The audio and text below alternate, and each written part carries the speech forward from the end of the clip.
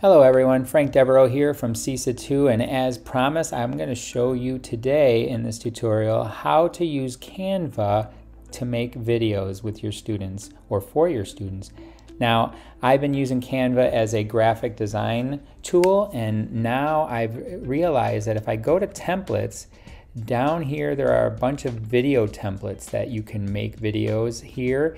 You can even find them under the education section, under educational videos. And there are tons of templates and there's creative ones, there's serious ones, there's artsy ones. And if you hover over, it will kind of show you the animations. It'll show you the different slides in there. And I actually, if I go to home, I went and I go to my projects and I can go to my starred folder. I actually starred a couple and I can click on this one and it'll show me the slides here and I really like this so I just click use this template and now my students or I can double click on any of the text boxes and edit that. I can add my own text boxes.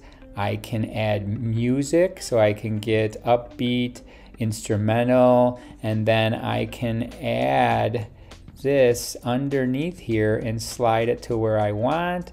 I can even add audio effects. I can fade in, you know, in there and you can see its angles there and I can fade out and you can see it fades out.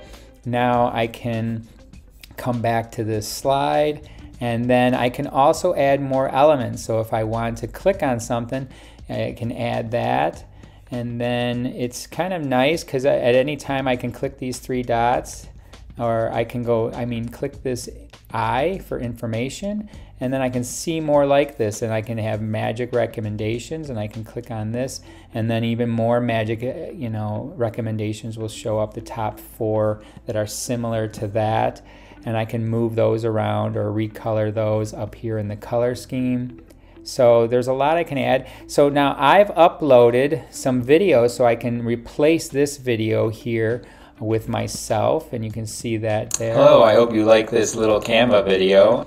And so now I can go to this slide and I can, you know, get rid of this video and I could add a bunch of images.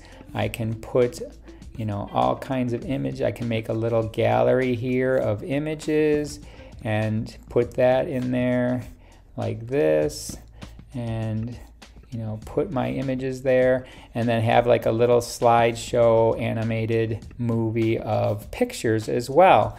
So a lot you can do with this. And then once the students are ready, they can click share and they can download it as an MP4 file and drag it into the Google Drive or they can just share it directly from here. So I can click on view only link and then I can the students can send this out or I can send this out to parents. They can put this in the Google Classroom or their LMS, their Schoology or Canvas, whatever they're using, or they can email this to me and just copy it and then it will play for 34 seconds.